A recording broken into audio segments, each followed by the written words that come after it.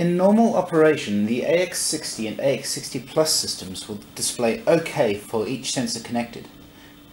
This is accompanied by the sensor type, gas concentration and units of measure. OK, sensor type, gas concentration and units of measure. The displayed values are determined by which sensor is currently selected. Pressing the cycle button moves the sensor select chevron from sensor to sensor displaying each measured value.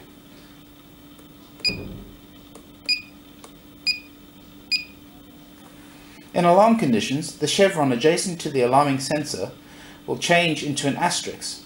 This indicates that the device has detected a heightened CO2 level. Press the Accept to Test button briefly to mute this alarm.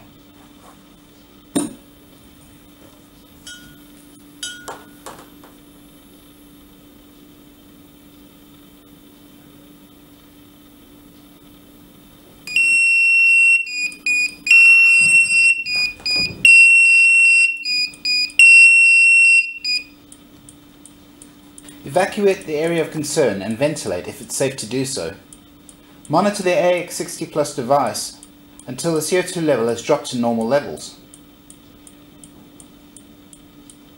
Once the CO2 level has dropped to normal levels, press the cycle button to select the alarming sensor.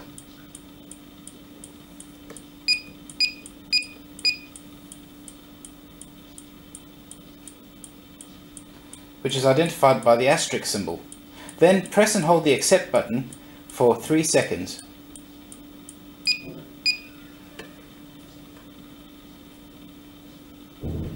The asterisk symbol will revert, will revert to a chevron and the device will return to normal operation. Investigate the source of the leak and rectify. Alternatively, contact your gas supplier to carry out the investigation.